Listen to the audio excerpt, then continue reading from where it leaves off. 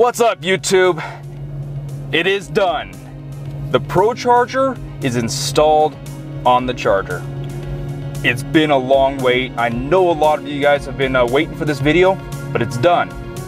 We're gonna talk horsepower numbers later, but I am leaving RPM Motorsports right now, Rains Precision Motorsports, and this is gonna be my first drive. I lied a little bit. I took it around the block a little bit just before uh, before I signed all the paperwork, but this is your first ride with me. Let's go.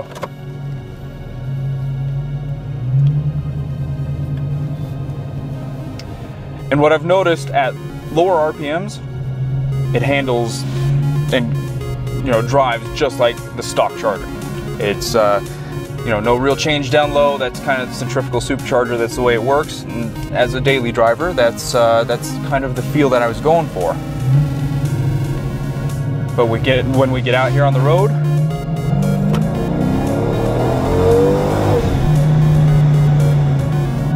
yeah. You guys need to stay tuned. I'm gonna give a little bit of walkthrough about what went into this upgrade, what went into this build, some of my gauges, the blow-off valve, and we'll talk those horsepower numbers. I know there's a lot of you guys that entered my contest about a month ago, month and a half ago. I gotta go look at those, uh, those votes, pick a winner.